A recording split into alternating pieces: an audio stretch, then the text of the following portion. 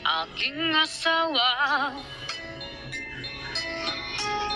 Kanyang nakita Manok na pula Mukhang matapang.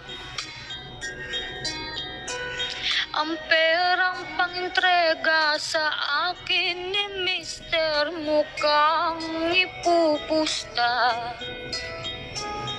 Kanyang pinusta sa manok na pula. Mukhang tatama daw Nagsimulang salpukan.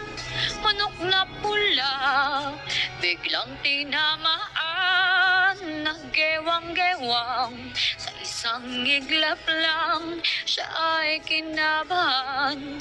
Di na nakatayo Patay na puruhan ang perang para sa akin Pinatalo niya sa sabungan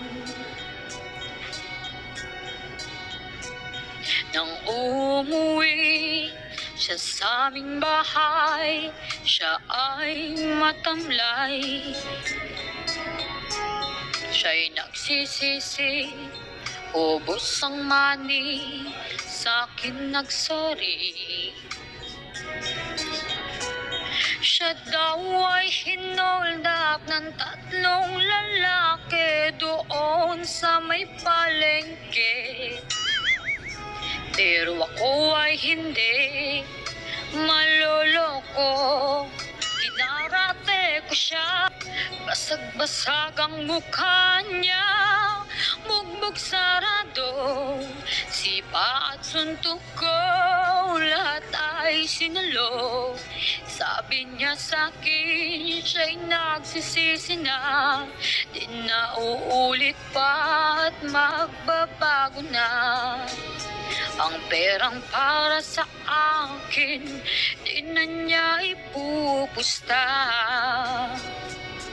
Basag-basag ang mukha niya Bugbog sarado. Sipa at suntok ko Lahat ay sinalo. Sabi niya sa akin Siya'y nagsisisi na. Di na uulit pa At magbabago na. Ang perang para sa akin Di na niya ipupusta